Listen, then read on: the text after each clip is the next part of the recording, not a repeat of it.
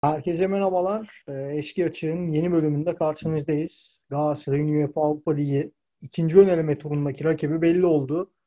Ee, kardeş ülke dediğimiz Azerbaycan'ın Nefti Bakü takımıyla eşleştik.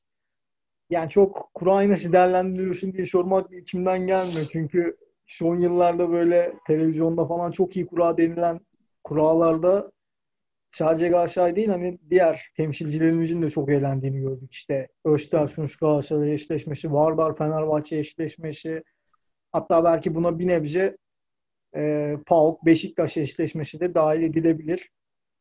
E, o yüzden hani çok kurayı uğraşım gelmiyor. Abi dondun mu sen? Yo, seni dinliyordum. Kıpırdamadan.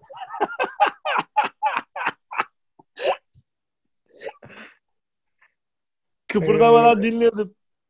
Ben dondun sandım. Geçen Kolibali için ya Kolibali için yaptığımız yayın öyle olunca Evet evet. Yok şey yapıyordum yani hakikaten kıpırdamadan dinliyordum hani şey yapıyordum seni bozmayayım dedim. e, gidelim abi. Nefçi Bakü için ne diyeceksin? Yani hani çok sorusum gelmiyor aslında ama bir adettendir. Ya adettendir evet Nefçi Bakü'yü tanıyalım.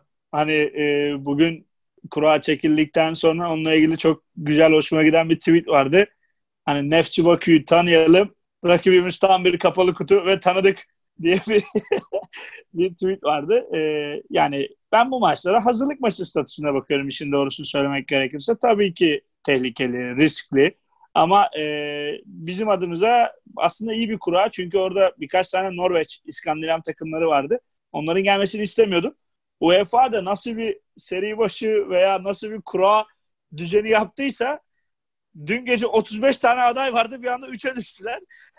Yani muhtemelen onun olayı şeydi. En azından biri öyle yazmıştı. Ben gördüm hani biraz daha e, bu koronavirüs nedeniyle takımları yakın ülkelerle eşleştirmek istiyorlardı. Muhtemelen Şimdi evet. e, Gürcistan, e, Azerbaycan takımı vardı. Bir de e, Maccabi grubu vardı sanırım. Bir İsrail-Bosna takımı vardı. Evet. Ee, bunun yanı sıra tabii hani baktığımız zaman e, Galatasaray adına hani orta saha haricinde takım aslında hemen hemen 3 aşağı 5 yukarı hazır. İşte hatta bugünkü antrenman maçı, hazırlık maçı olan Ümraniye maçında da hoca 3-5-2'yi denemiş.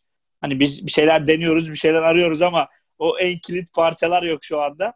Ee, 17 Eylül'de tek maç. Niyeti yok. E, Yani yani e, 17 Eylül'de tek maç. Benim burada anlamadığım bir noktada biz seri başıydık ama deplasmana gidiyoruz. Yani niye maçın nerede oynanacağını kura çekiyoruz bir daha. Öyle de bir saçma UEFA'nın saçmalıklarıydı.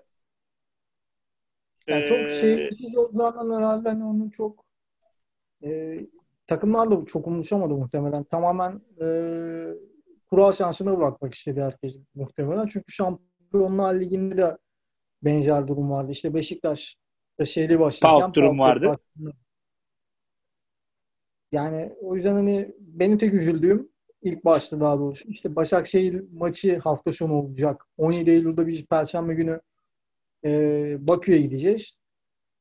Pazar günü Başakşehir'le oynayacağız. Başakşehir'le oynayacağız. Çok da hani bir yerden çok da takmamak gerekiyor herhalde.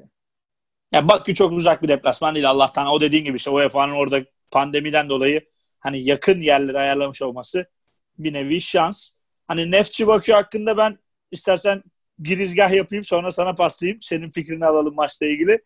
Ee, geçen sene Karabağ'ın ardından ligin ikinci sırada bitirdiler. Ee, 37 puan topladılar 20 haftada ki onlar da koronavirüs nedeniyle hani sezonun tamamını oynamadılar diye biliyorum ben.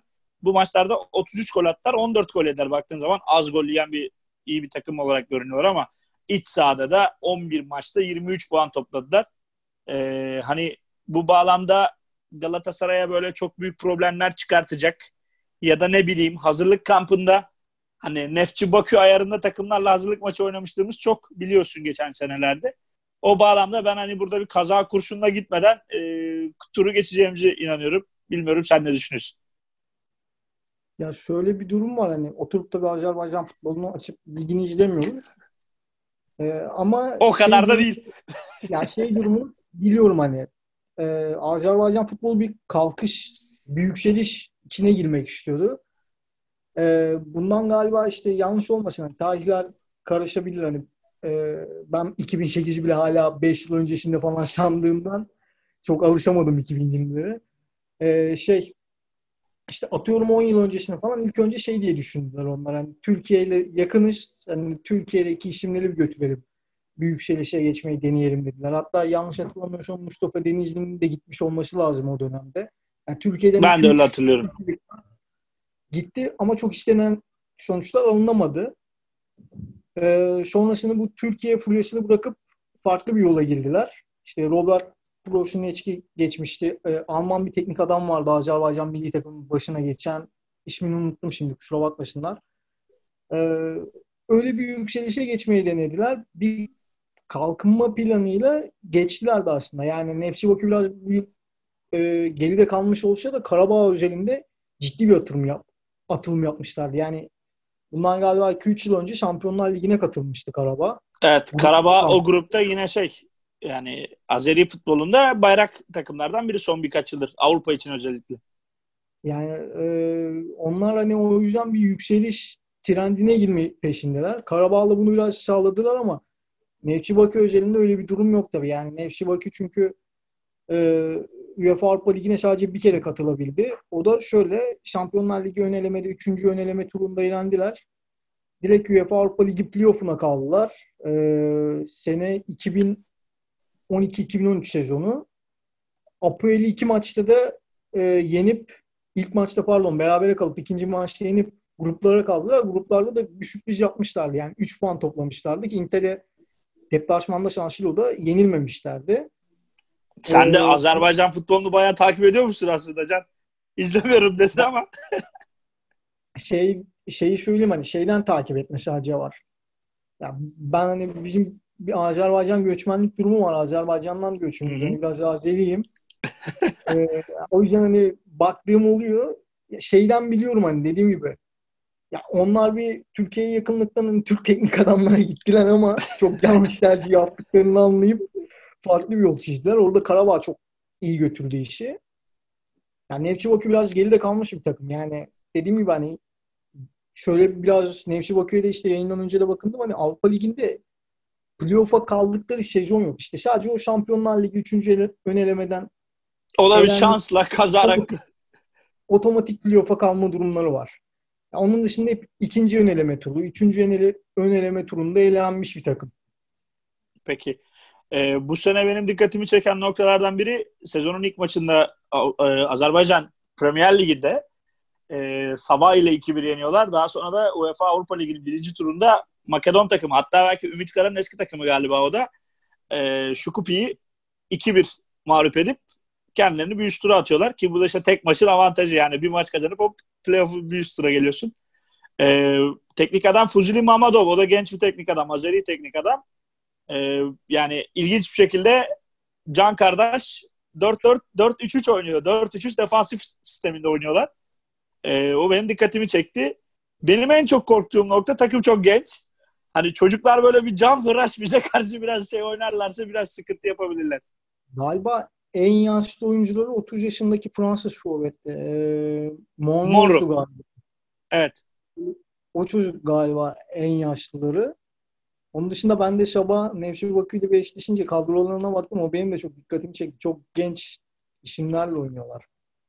Yani bizim sezona yeni başlamamış, işte yeni başlayacak olmamız falan bir, bazı dezavantajları da beraberinde getirecek gibi görünüyor. Ama dediğim gibi Galatasaray'sanız en azından Nefçi Bakü'yü yenip bir üstüne yükselmeniz gerekiyor çok rahat bir şekilde.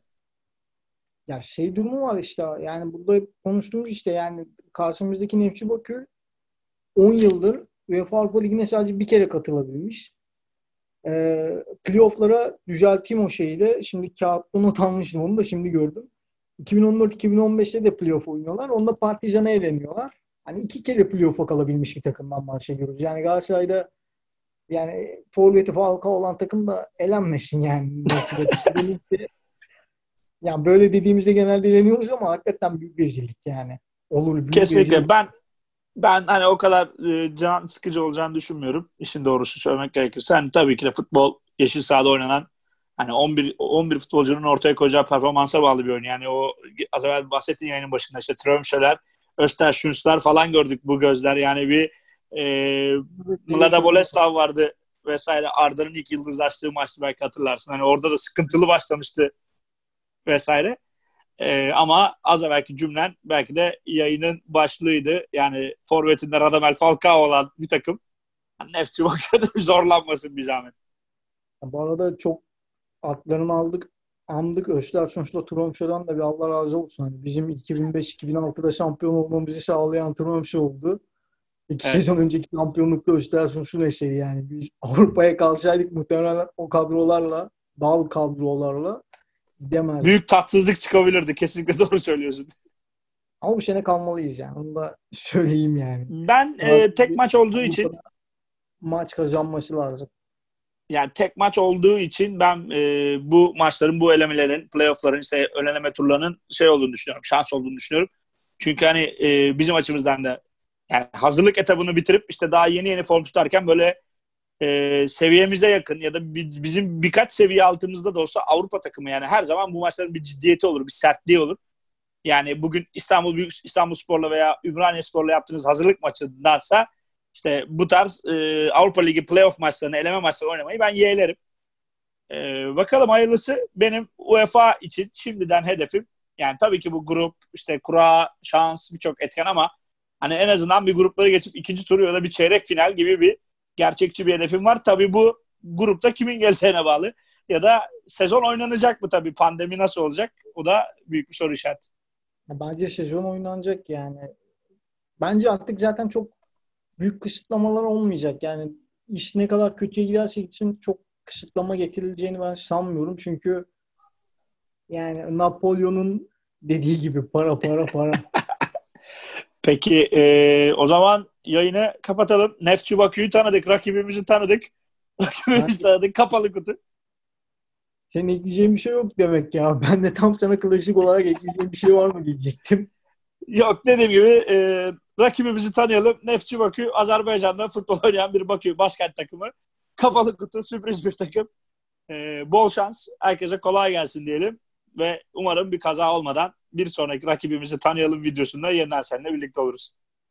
Umarım abi. O da galiba e, kısa süre içinde belli olacak bu geçer çekimde oynayacağımız. Yakın zamanda çekiliyor diye biliyorum. E, Bizi izlediğin için te- izlediğiniz için teşekkür ederiz. Kendinize iyi bakın. Sağlıklı günler. Bye bye.